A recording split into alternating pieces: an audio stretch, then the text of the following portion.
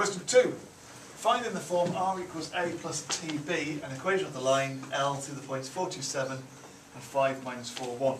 Well, we, we just talked about this, haven't we? That, that if you've got, you've got the, the classic kind of thing, you've got two points that you know where they are in relation to the fixed origin, and so you need to work out how to get from one point to the other. So, um, let's, let's set this up. Let's let OA be 427 and OB is 5 minus 4 minus 1. So we've set these up as vectors to start with. Um, so we want to find the vector between them. AB is minus that one plus that one. So it's minus 427 plus 5 minus 4 minus 1. Which gives us, what's that? 1 negative 6, negative 8. And then the equation is just R is A is a vector on the line.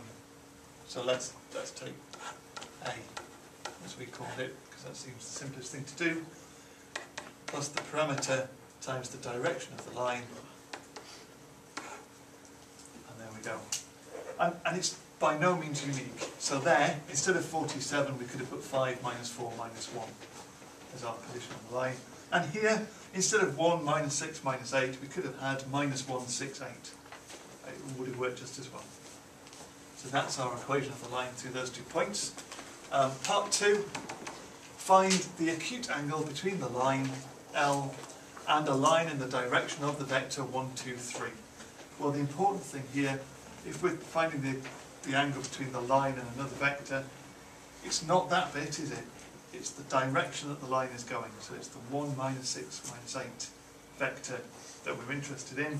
And remember we just wrote down the rule that says A dot B is magnitude of A, magnitude of B, cos theta. So if you rearrange that, you may want to remember cos theta as being A dot B over magnitude of A times magnitude of B. So we're going to use that. We're going to use the direction vector and the other direction that the question gave us and work this through. So cos theta is 1, 2, 3 dotted with 1 minus 6 minus 8 over the square root of 1 squared plus 2 squared 3 squared times the square root of 1 squared plus minus 6 squared plus minus 8 squared. And we're just going to carefully work this out. Cos theta is, remember how we do the, the scalar product, 1 times 1 plus 2 times minus 6 plus 3 times minus 8 top line. And the bottom right, you can of course use your calculator to do this. Um, we've got, what is that, root 14.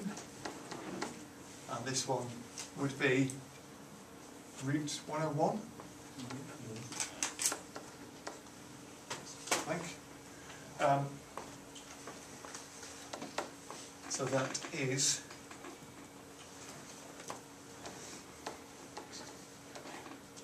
over that.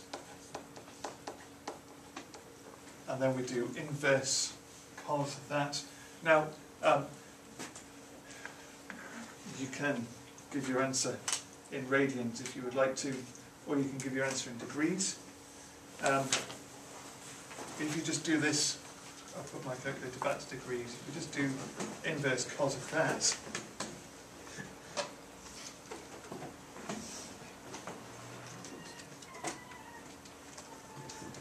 then the calculator is going to say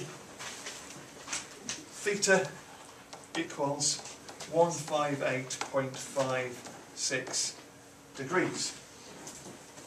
And the question said, find the acute angle between the line and the direction vector. So what we do, if that's, if that's the obtuse angle, we find the acute angle by doing 180 minus that.